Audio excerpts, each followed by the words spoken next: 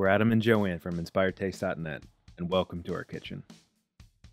We are making our coconut ginger vegetable curry. It's bright, flavorful, and easy to make. If you love cooking and haven't already subscribed, please subscribe to our YouTube channel to get all of our recipes. Okay, let's make this curry. Start by slicing the veggies. We will need one onion, one potato, half of a head of cauliflower, two medium carrots, a handful of green beans, and a few small tomatoes. As you can see, we slice the vegetables into pretty large pieces. This keeps a nice variety of texture in the curry. You can substitute or add veggies if you'd like.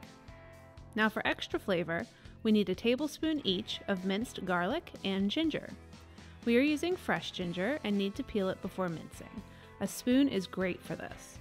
By the way, another option here is to grate the ginger. If you don't want to mince it with a knife like me, simply run it over the microplane instead. For the full recipe and extra tips, visit Inspired Taste. Over at the stove, heat a tablespoon or so of oil in a wide skillet or wok. Add the onion, cauliflower, and carrots, and then cook, stirring occasionally until they start to soften and take on a bit of color. Now toss in the garlic, ginger, and 3 quarters of a teaspoon of turmeric. Give everything a stir so that the ginger and garlic have a chance to hit the bottom of the pan a few times. Next, add 1.5 tablespoons of red curry paste. This is store bought, but you can make your own if you'd prefer. When the curry paste has had a chance to coat most of the veggies, add the potatoes and a whole can of full fat coconut milk, as well as a cup of water. Full fat coconut milk is best for this since it makes the curry extra creamy. Bring the curry to a simmer and cook until the veggies are tender and then add the tomatoes and green beans.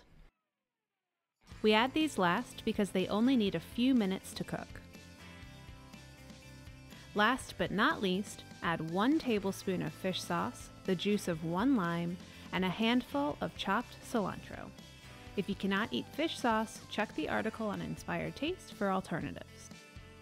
And that's it easy, veggie packed coconut curry. It's absolutely delicious and perfect when served over a bed of rice or with some flatbread to soak up all of that sauce. As always, the full recipe with lots of tips is on Inspired Taste. Enjoy! If you love this recipe, take a look at some of our other veggie packed dishes, like our homemade veggie burgers or our fresh veggie spaghetti.